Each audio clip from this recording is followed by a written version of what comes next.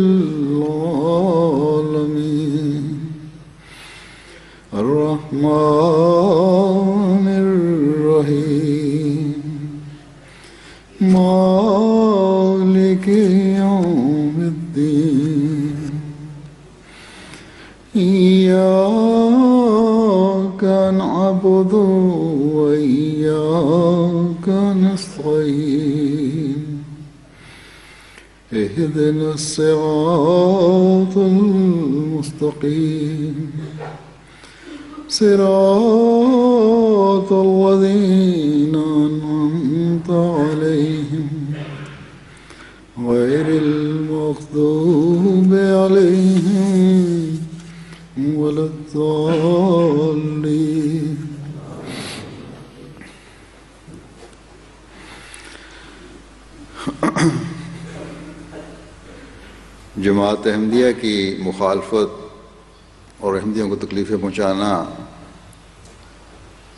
कोई आज का या जमात अहमदिया की तारीख़ में माजी करीब का किस्सा नहीं है बल्कि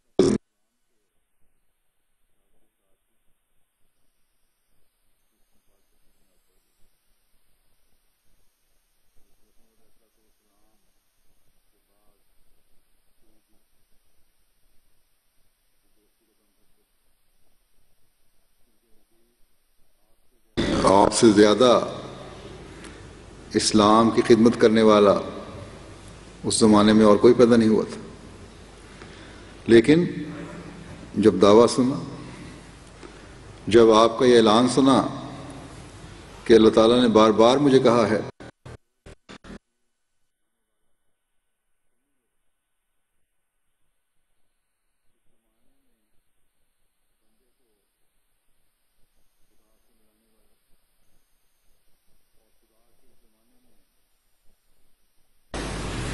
महबूब,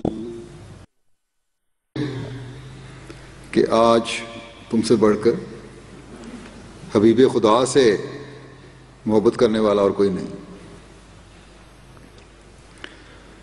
तुम ही हो जो आखरीन मिनहुम लम्मा यलक बहिम के मिसदाक हो। तो इन सब लोगों ने जो आपको इस्लाम का पक्का और सच्चा मुजाहिद समझते थे कि आप जैसी कोई मिसाल नहीं है इस वक्त ज़माने में। इन्होंने ना सिर्फ़ ये कि आपसे आँखें फेर ली, बल्कि आपको तकालीफ पहुँचाने और आपकी इज़ार आसानी के लिए गैर मुसलमानों के साथ मिलकर, उन लोगों के साथ मिलकर, जो आ हज़रत सल्लल्लाहु अलैहि वसल्लम की तोहन में पेश पेश थे। आप इस्लाम के ख़िलाफ़ कत्ल तक के नाजायज़ मुकदमात करवाए। और उनमें बढ़ बढ़ कर अपनी गवाहियाँ और शहादतें पेश की। बस ये मुखालफत जिसका आज तक हम सामना कर रहे हैं, ये कोई जमात अहमदिया में नई चीज़ नहीं है। आप इस्लाम को बजात खुद, जब आपके साथ चंद लोग थे, जैसा कि मैंने कहा, इस ालमाना मुखालफों से गुजरना पड़ा। मुकदमे भी कायम हुए। फिर आपकी ज़िंदगी में ही आपके मानने वालों को दुनियावी मालो इसबाब से महरूम होते हुए होने की सज़ा से गुजरना पड़ा। बीवी बच्चों की अलीहदगी की सज़ा से गुजरना पड़ा। यहाँ तक कि अपने मुरीदों में से दो वफाशारों की ज़मीन काबुल में शहादत की तकलीफ़ दे और बेचैन करने वाली खबर भी आपको सुनना पड़ी।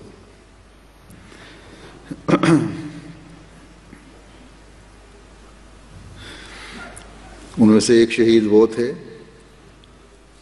जो रईस आज़म खोस्त थे, जिनके अपने मुरीद हज़ारों में थे, जो बादशाह के दरबार में बड़ी इज़्ज़त का मुकाम रखते थे। बस आपको ऐसे वफाशार फरिश्ता सिफ्त बुज़ुर्ग सीरत, मुरीद की शहादत खबर का सदमा सहना पड़ा। आपने शहीद की शहादत पर तफसील से किताब तस्करत शहादैन जो लिखी, उसमें उनकी नेकी, तकवा, कबूल अहमदियत और सआदत और गैर मामूली ईमानी हालत का ज़िक्र करने के साथ शहादत के वाक़ात भी मुख्तलिफ़ खतूत से जो हज़रत इस्लाम के उनके मरीदों ने लिखे थे। उनमें से खुलासता लेकर उन वाक़ात का भी ज़िक्र किया। और आखिर में आप फरमाते हैं कि, ए अब्दुल तेरे पर तेरे पर हज़ारों रहमतें कि तूने मेरी ज़िंदगी में ही अपने सिद्ध का नमूना दिखाया। फिर उसी किताब में आप इस्लाम हमें नसीहत करते हुए फरमाते हैं कि हम अपनी जमात को नसीहत करते हैं कि इस किस्म का ईमान, यानी साहजाद अब्दुल लतीफ़ शहीद जैसा ईमान, हासिल करने के लिए दुआ करते रहें। क्योंकि जब तक इंसान कुछ खुदा का और कुछ दुनिया का है, तब तक आसमान पर उसका नाम मोमिन नहीं